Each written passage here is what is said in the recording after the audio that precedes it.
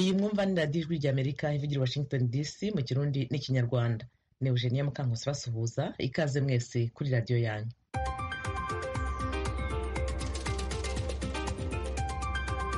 Turahera ku makuru avugwa hirya no hino ku isi mwateguriwe kandi mugezwaho na aloyizi bigirimana. Aloyizi waramutse neza?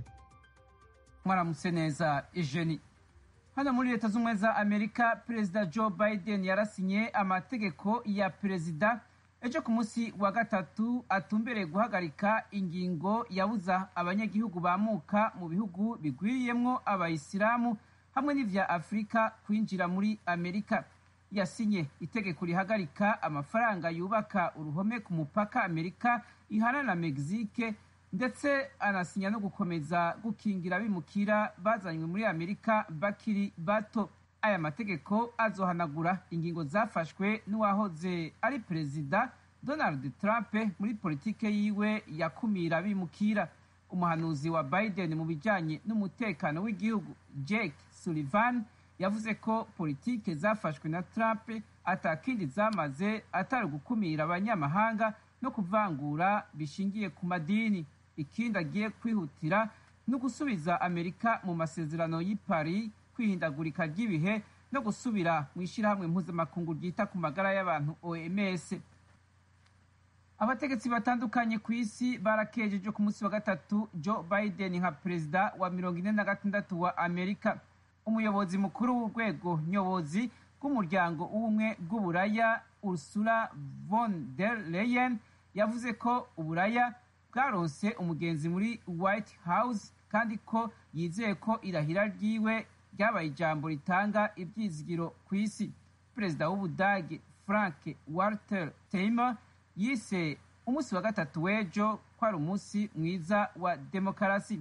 Umushikiranganji wa mbere w'ubwongereza boris johnson avuga ko ikiza cya covid cumi n'icyenda kigiye kurwanirizwa hamwe hamwe n'ihindagurika ry'ibihe ibibazo by'umutekano no guteza imbere demokarasi.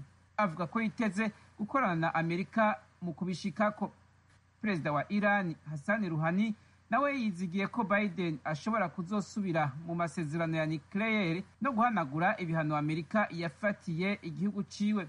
Uburusiya bwo bwahisemo kwinumira ariko imbere y'uko biden arahira umuvugizi wa leta dmitri peskov yabwiye amenyeshamakuru ko atariko arabona igihinduka mu migenderanire hagati y'ivyo bihugu.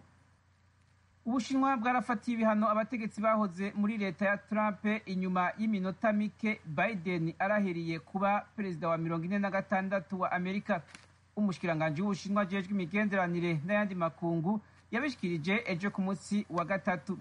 Wahoze ari umushikiranganji wa amerika ajejwe imigenderanire n'ayandi makungu mike pompeo yabaye umwe muri mirongo ibiri n'umunani. Ubushinwa buvuga ko bateguye baramamaza kandi bashyira mu ngiro urukurikirane rw'ibihano byahungabanije ubushinwa n'inyungu zabwo.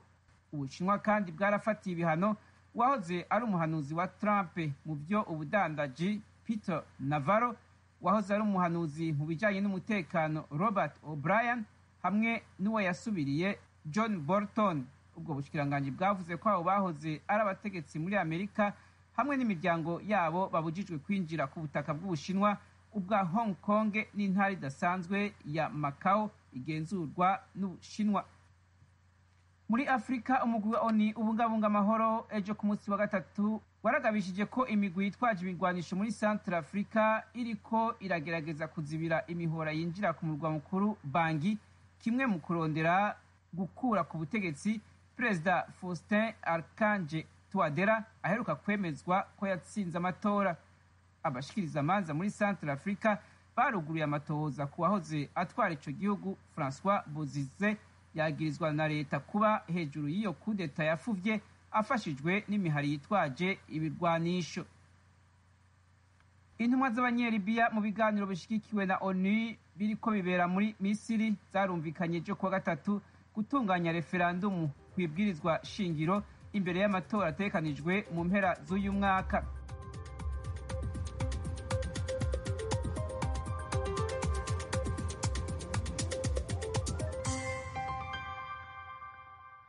Bigirimana urakoze kutugezaho aya makuru.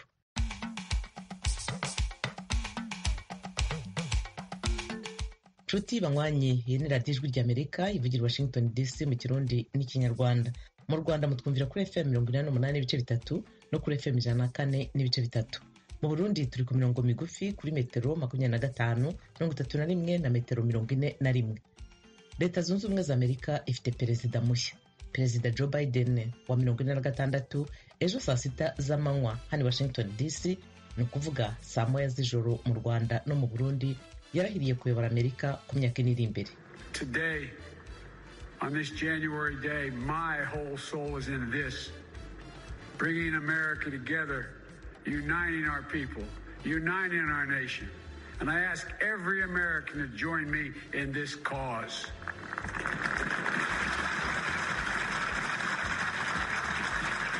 Uniting to fight the foes we face anger, resentment, and hatred, extremism, lawlessness, violence, disease, joblessness, and hopelessness. With unity, we can do great things, important things. We can right wrongs. We can put people to work in good jobs. We can teach our children in safe schools. We can overcome the deadly virus. Uwo ni perezida mushya wa amerika joe biden arahirira kuyobora igihugu. Nibyo amakuru yacu yibandaho muri iki gitondo ntimujye kure.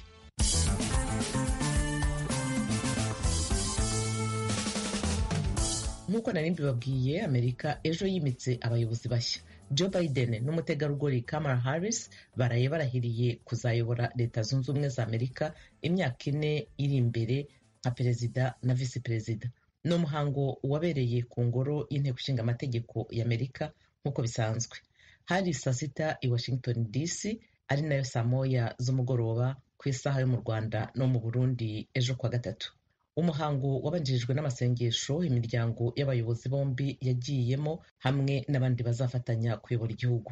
Umuhango wo kurahira kwa perezida joe biden na visi perezida we kamala harris wabaye mu buryo budasanzwe kubera icyorezo cya covid cumi n'icyenda.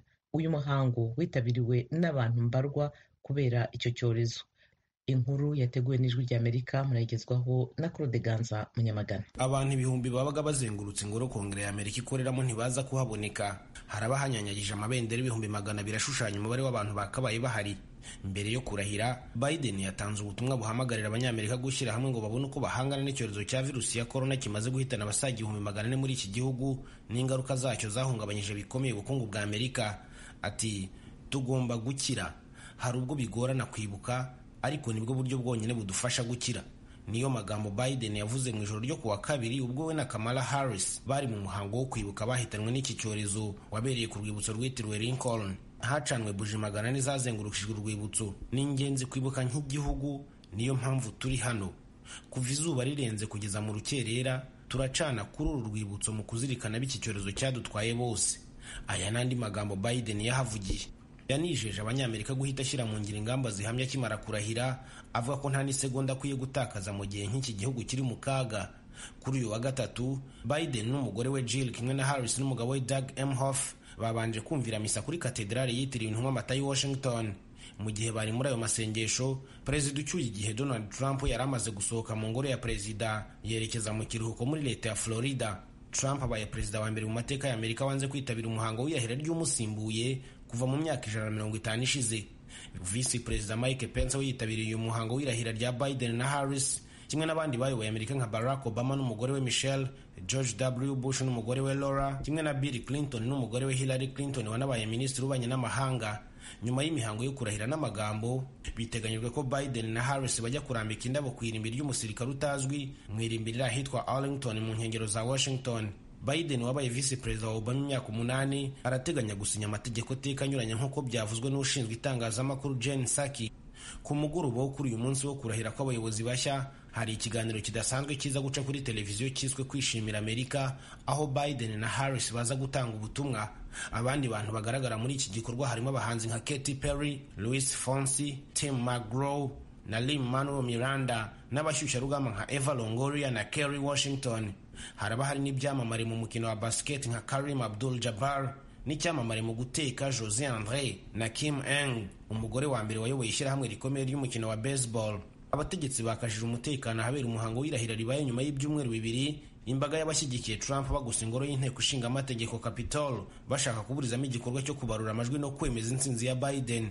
Ku wa mbere w'iki cyumweru harris yavuze ko nta mpungenge afite z'umutekano ko ahubwo ategerezanyije amashyushyu umunsi nyirizina wirahira. Ati nzajya kurahira nemye rwose. Inzego z'umutekano zivuga ko buri kimwe cyose cyakozwe kandi ko urwego rushinzwe iperereza fbi rwarobanuye abasirikari ibihumbi makumyabiri na bitanu bashyirwa i washington gucunga umutekano w'iki gikorwa. Kuri uyu wa kabiri abasirikare cumi na babiri birukanwe mu bacunga umutekano w'uyu muhango wirahira. Kuko nibura babiri muri bo bagaragaje kutishimira ubuyobozi bushya nk'uko ikinyamakuru the washington post kibitangaza. Iki kinyamakuru kivuga ko abandi icumi bo bakuwe ku rutonde ku mpamvu zidafitanye isano n'ubuhezanguni. Ahabereye umuhango wirahira hazengurukijwe ibizingo bya senyenge bityaye byakoze urukuta rurerure cyane mu buryo butari bwakabayeho mu mihango y'irahira ry'umukuru w'igihugu. Abadepite batoreye kweguza perezida trump ku nshuro ya kabiri mu cyumweru gishize bamushinja gushishikariza abaturage kwigomeka. Iburanisha muri sena kuri ibi birego ntiriratangira. Trump aramutse hamwe n'ibi byaha yaba abaye perezida wa mbere bagerageje kweguza inshuro ebyiri mu mateka bikaba byamubuza amahirwe yo kuzongera kwiyamamariza kuyobora amerika. Radiyo ijwi ry'amerika i washington dc mu kirundi n'ikinyarwanda bamwe mu barundi n'abanyarwanda. Bagize icyo bavuga ku irahira ry'umuyobozi mushya wa amerika. Turahera kuri porofeseri paul kananura impuguke mu bibazo bya politiki mpuzamahanga n'umutekano uba mu bufaransa. Yavuganye na mugenzi wacu etienne karekezi. We yakiriye ate irahira rya perezida joe biden? Indahiro twayakiriye neza cyane cyane ko mu ijambo yavuze akenshi ryarebaga abanyamerika yavuze ko demokarasi yarokotse kubera ibyari byabereye kuri capitol bushize kandi agira ibintu bibiri atsindagira azaba perezida w'abanyamerika bose cyane cyane ko yifuza ubumwe n'ubwiyunge bw'abanyamerika kuko aya matora bavuga ko ngo yabayemo uburiganya kandi ari byo yanahakanye byagabanijemo abanyamerika ibice bibiri urumva ko bakeneye ubwiyunge. Ku bwanyu murebye ubutegetsi bwa perezida joe biden mubona igishobora guhinduka mu mibanire y'amerika n'isi? Ni iki ku buryo bwihuse? Ibyihuse ni bibiri ni uko azoroshya ibintu mu bubanyi n'amahanga no mu bintu byerekeranye n'abimukira cyane cyane ko mu mategeko yahise asinya ari iya cumi n'arindwi ubonamo ko hari gufuta ibyo trompe yari yarafashe bikumira abantu bo mu bihugu birindwi by'abayisilamu kutajya muri amerika. Noneho hakazamo n'ikintu gikuru cyo kugaruka mu masezerano y'ipari yo kubungabunga ibidukikije no kugaruka mu muryango w'abibumbye ushinzwe ubuzima. Ibyo bintu rero urumva yuko yerekanye ubushake bwo kugaruka mu rwego mpuzamahanga no kugira ngo yumvikane n'abandi uko bazakorana mu kubungabunga mu kubungabunga inyungu z'isi nubwo iza amerika na zo zaba zirimo. Izo ni ingamba zihuse yavuze ko ahita atangiza rugikubita. Mwe bamwe mu basesengura politiki mpuzamahanga basanga ku butegetsi buvuye bwa perezida donald trump amerika yaratakaje igihagararo mu ruhando mpuzamahanga. Icyakorwa n'iki kuri ubu? Icyakorwa nyine ni icyo ngicyo cyo kwegerana n'abandi kugira ngo abahumurize ababwire ati amerika igarutse ku ruhando mpuzamahanga ntabwo amerika ikiba nka wa mwana wikunda cyane agahora acokoza abandi. Ariko ni amagambo ni amagambo azajyana n'uburyo bwo kumvikana n'abandi gushyira imbere inyungu za amerika ariko zijyanye n'iz'isi. Mu gufatanya n'abandi mu gutorera umuti ibibazo byugarije isi cyane cyane mu rwego rw'amahoro mu rwego rwo kurwanya icyorezo cya korona virusi no mu rwego rwo kurwanya iterabwoba akajya gufatanya n'abandi ku buryo bwihuse kandi ku buryo bwumvikanye. Kugira ngo ni cyo ngicyo azihutira kugira ngo abantu bongere bagirire amerika icyizere kirenze icyari gihari mugasanga mwe musesenguye ko abatuye isi ndavuga ibindi bihugu bizakira ku buryo bwihuse ingamba za amerika? Cyane cyane abantu bose batuye isi basa n'abiruhukije aho joe biden atorewe ngira ngo abanyamerika nibo bari bafite ikibazo ku isi yose babonye ko abaperezida bose bahise bamushyigikira ako kanya mu gutorwa amajwi ataranarangiza kubarurwa. Nk'uhagarariye uyu mudamu uhagarariye ibihugu by'uburayi yavuze ko bagiye gusinyana yifuza ko basinyana amasezerano akaze na amerika y'ukuntu bagomba kongera kubana neza mu nyungu za buri wese ariko mu byo yise by'umubano wa amerika n'uburayi kugira ngo byongere birenge uko byari bimeze na mbere. Ndabashimiye cyane porofesor paul kananura mu bufaransa. Murakoze cyane. Bwana silvestre ntibantunganya wabaye perezida w'u Burundi nawe yagize icyo avuga kuri amerika yari yimitse perezida mushya. Yaganiriye na frederic nkundikije icya mbere cyoco ni ibi biraba iki kiza cya coronavirus? Ubona ko cyamugaje isi yose tukaba tuzi ku makuru tugenda tubona hirya no hino na mwebwe mudushyikiriza ko igihugu cya amerika cyabuze abantu bashika ku bihumbi amajana ane. Na joe biden nyine yabivuze aravuga ati icyo ni ikintu dutegerezwa gufatira ko kugira ngo turabe ikizo gukorwa kugira ngo ibyo tubyirinde. Icya kabiri ni ingene rero itorwa ryiwe ryabaye urabye ukuntu mbere n'ubwa mbere muri kahise ka amerika uwo bahiganwa ari mu kibanza cy'umukuru w'igihugu gushyika ubu atarasohora ijambo ryemera yuko joe biden yatsinze ko yemera umutsinda n'ibindi byagoranye urabye nk'abarya baje bakamera nk'abateye mbere barateye irya nzu ikoreramo abashinga amateka ariyo ngaho muri leta zunze za amerika muvuga yuko ari ingoro ingoro ya demokarasi mu gihugu. Ibyo rero ni byo byatumye avuga ayo majambo yose. Amajambo avuga ati amerika ndigenda akagire ntibishoboka amerika iguma ihagaze n'umurage irahagaze ati kandi ndabasabye ko muzogenda muri ibyo dukora. Mu ijambo uh, joe biden perezida mushasha wa leta zunze ubumwe za amerika yashikirije yavuze cyane rwose ijambo ubumwe ryagarutse kenshi cyane rwose ivyo mu biha insiguro nke. Birumvikana yagenda abisigura arasigura inzira igihugu cya amerika cyaciyemwo wumvise nyine yibukije uruhara rwa perezida yahejeje ijyamwano yahuza abanyamerika. Wumvise nyine yavuze urugamba rwa martin luther king wumvise nyine yavuze abakigezi bo muri amerika barwanira gushyira gutora kwabo. Hanyuma ukumva rero n'ingene yaciye yerekana ingene yishimye kubera ari ubwa mbere umukenyezi kandi w'umwirabure afise ababyeyi bava muri indiya abandi bakava mu kindi gihugu. Kandi akaba yashoboye uno munsi kuba umutegetsi wa kabiri. Icegera cy'umukuru w'igihugu muri amerika ati iyo ni intambwe yerekana ko amerika igenda ihinduka. Hama rero tukagenda dufatanya rero ku bumwe. Ubwo bumwe rero bifatire gusa ku kuntu iyo abantu bapfa. Ugafatira kandi no ku kugene abanyamerika bagenda bose basangira bimwe biboneka itunga igihugu gifise. Wavyumvise ko agira bigaruka ko ati ibyo murabona umuntu agenda ibibazo ibibazo n'ibi n'ibi n'ibi n'ibi. Ibyo mbona yuko rero ari byo yihaye azokorera ko kugira ngo akomeze ubumwe muri amerika mu kanya gatoya cyane rwose ibihugu byo mu mahanga biratangiye gutangaza ko byiteguriye gukorana na leta ya perezida joe biden na kamala harris. uh, ku vyerekeye intara ya afurika ikintu mwifuza ko leta ya joe biden yorangura ni ikihe? Mu kanya gatoya cyane rwose. Icyo nifuza ni uko bofasha kugira ngo koko indyane ziri mu bihugu bitari bike muri afurika zihere ntihagire na cane cane abaza babyivangamwo bononera abanyafurika bonyene bariko bararondera izo nyishu. Hanyuma kandi amerika igashyigikira bimwe biboneka afurika mu rugendo irimwo yo guteza imbere abenegihugu bino bihugu byacu mu buzima bwabo bwa misi yose mu byerekeye ubutunzi mu byerekeye imibano na cyane cyane bigashingira ku bintu bikomeye bya nkenerwa byo kwigisha abantu byo kuvura abantu. Perezida silvestre ntibantunganya mwahoze murongo w'i burundi murakoze cyane rwose kuri aka kanya mwatoye ngo muhe ikiganiro iradiyo ijwi ry'amerika namwe murakoze ku kanya mwambaye kugira ngo kuganira. Namwe. Tukivuga ku birori byo kurahira kwa perezida mushya wa amerika joe biden umurundi leonce hakizimana uri mu mujyi wa chicago muri leta zunze ubumwe za amerika ukurikiranira hafi ibya politiki yabwiye mugenzi wacu frederic nkundikije uko yabonye ibyo birori. Urazi imyaka ine iheze yari twese wamengo umwe wese ni ukwimenya. Ubundi rero aje avuga ati je ngomba ko nsubira kuhuza abanyamerika dusubire tuvuge rumwe.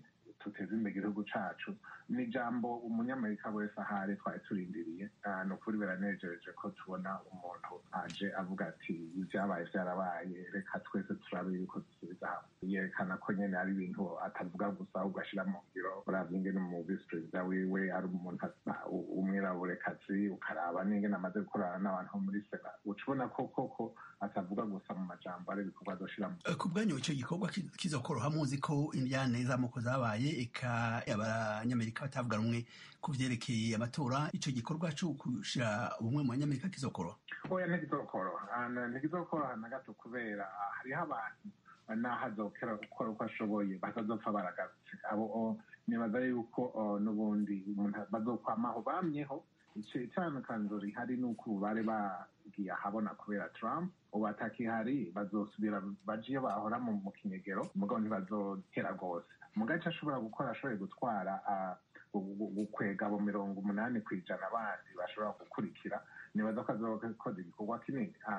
Abo bazoguma bashaka gutoba mugabo badafite umuntu w'umukuru aza arabashira imbere bazoheza babone yuko igihugu giteza kubandanya nibaza ko azobishobora na cyane cyane avyerekanye akabishyira mu ngiro akemera gukorana na kongre nibaza ko bazoca bagashiraho ibintu bishobora guteza imbere igihugu. Ku giti cawe ikintu mubona coshirwa imbere na leta nshasha ya perezida joe biden na kamala harris ni nk'ibihe ibintu woshira imbere ni nk'ibihe nukuri abantu tuba ngaha twaba turi abarundi twaci twaje no tukagerera ngaha. Uravye zirya ngeso ingendo ya trump.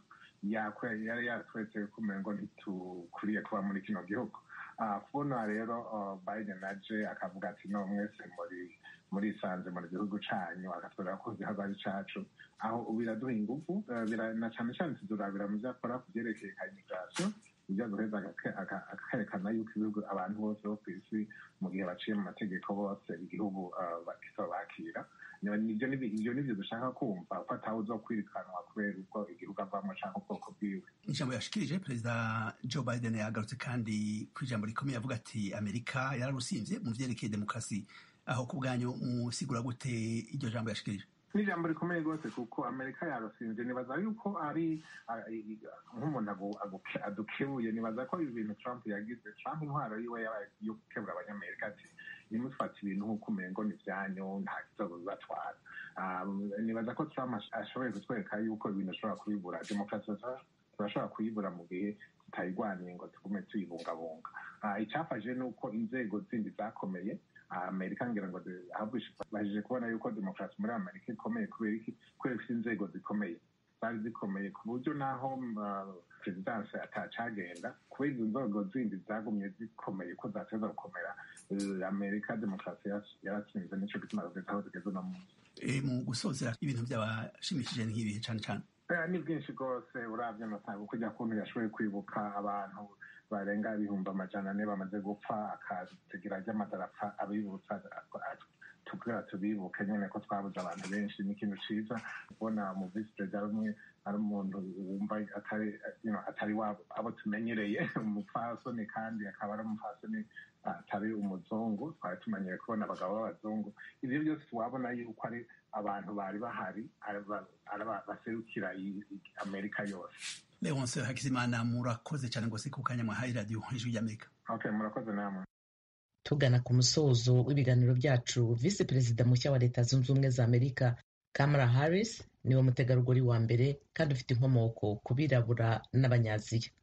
Ni muntu ki? Amateka y'iturabwirwa na mugenzi wacu temistokire mutijima. Visi perezida kamara harris yagiye azamuka mu ntera mu mwuga we kuva ku kuba umushinjacyaha muri leta ya california aba umushinjacyaha mukuru nyuma aza kuba senateri uhagarariye leta ya california kugeza ubwo bari ku mwanya wa kabiri mu ikomeye muri leta zunze ubumwe za amerika mu nama nkuru y'ishyaka ry'abademokarate yigaragaje nk'umukobwa ukomoka ku mwimukira w'umuhinde n'uw'umunyajamayika ndetse yiyemeza kuzaharanira ko amerika irushaho kuba igihugu cya bose nyuma y'imyaka y'ubutegetsi bwa donald trump we yavugaga ko bwarushijeho gucamo ibice abatuye igihugu. Madame harris yavuze ko we na biden basangiye intumbero y'igihugu yo kugira umuryango ukundwa aho abantu bose bisanga hatitawe kuko basa aho bakomoka cyangwa se abo bakunda kandidatire ya Biden na Harris yaje kwemezwa nk'abagomba guhagararira ishyaka mu matora nubwo bagaragazaga kunyuranya ku ngingo zimwe mu matora y'ibanze y'ugomba guhagararira ishyaka ry'abademokarate mu biganiro mpaka byabo ku rwego rw'ibanze bagaragazaga kunyuranya ku ngingo zirebana n'imibanire y'amoko uburyo bwo gushyira abanyeshuri mu bigo by'amashuri harwanywa irondaruhu ndetse n'uruhare rwa biden mu guharanira uburenganzira bwa muntu ubwo yari senateri uhagarariye leta ya delaware ubwo yemeraga guhagararira ishyaka rye mu matora nka kandida visi perezida nyuma y'aho ahagarikiye kwiyamamaza ubwe nka kandida perezida madame harris yasabye abanyamerika gufatanya nawe mu rugamba rwo kurwanya ivangura rishingiye ku ibara ry'uruhu n'irikorerwa abanyamahanga. Yagize ati nta rukingo ivangura ruhu rigira tugomba gukora akazi. Nyamara ku rundi ruhande kwiyamamaza kwe rimwe na rimwe kwagiye kugaragaramo ibikorwa bikomeretsa ku mugore utari umuzungukazi washakaga gukora amateka muri politiki ya amerika. Nyuma y'igihe kinini ashakisha kandida visi perezida bagomba kwiyamamazanya. Biden yaje gutoranya harris w'imyaka mirongo itanu n'itandatu y'amavuko. Habura amezi atageze kuri atatu ngo amatora yo ku itariki ya gatatu y'ukwezi kwa cumi na kumwe abe. Ugutoranya harris kwa biden ubwako kwandikishije amateka. Madame harris yari umugore wa kane wemerewe guhagararira ishyaka rikomeye mu matora yo ku rwego rw'igihugu ariko kandi akanaba umwiraburakazi wa mbere unafite inkomoko muri aziya ugeze kuri urwo rwego madame harris ashyigikiye cyane ibitekerezo bijyanye no kugeza serivisi z'ubuvuzi kuri bose muri amerika kurandura imikoreshereze y'imbunda mu bikorwa by'urugomo korohereza abimukira batanditse mu nzira yo kugera ku bwenegihugu ndetse no guharanira uburinganire mu kazi ku bagore ndetse n'ababana bahuje igitsina icyakora igice cy'abaharanira iterambere mu ishyaka ry'abademokarate bashidikanya ku hahise nk'umushinjacyaha utavugirwamo mu mujyi wa san francisco. Nyuma akaza kuba umushinjacyaha mukuru wa leta ya california mbere y'uko atsindira umwanya muri sena ya amerika mu mwaka w'ibihumbi bibiri na cumi na gatandatu. Kuri bamwe harris asa n'uwivuguruza muri politiki aho avuga ko adashyigikiye ishyirwa mu bikorwa ry'igihano cy'urupfu ku byaha bikomeye muri california ariko akaba yaragaragaje gushyigikira iyo leta ku itegeko rishyiraho igihano cy'urupfu igihe hari abarirwanyaga nubwo biri uko yongerereye ingufu za politiki Biden mu kwiyamamariza ubuperezida kwe. Inshuro ye ya gatatu yarahataniye guhagararira ishyaka mu myaka mirongo itatu ariko akaba ari bwo bwa mbere abitsindira nk'umwe mu bagize akanama k'ubutabera ka sena harris yahanganye cyane n'abayobozi bo ku butegetsi bwa donald trump ndetse yagarutse cyane mu itangazamakuru ubwo yashidikanyaga ku bacamanza babiri neil gorsuch na brett kavanaugh batsimbaraye ku kuba ibintu bitahinduka. Perezida trump yari amaze gutoranya ku myanya yo mu rukiko rw'ikirenga.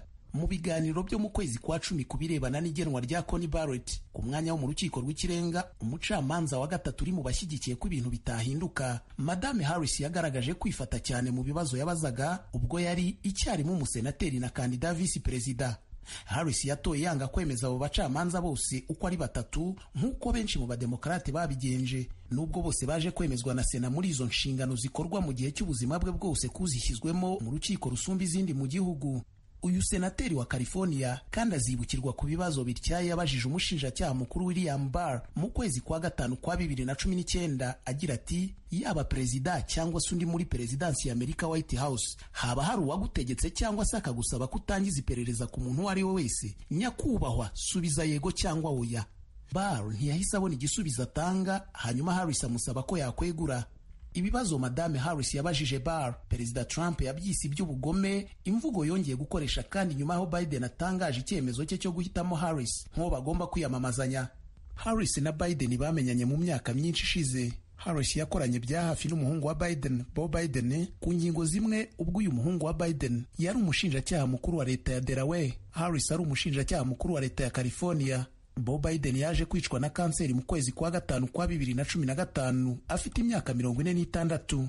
Mwumvaga radiyo ijwi rya amerika i washington dc mu kirundi no mu kinyarwanda.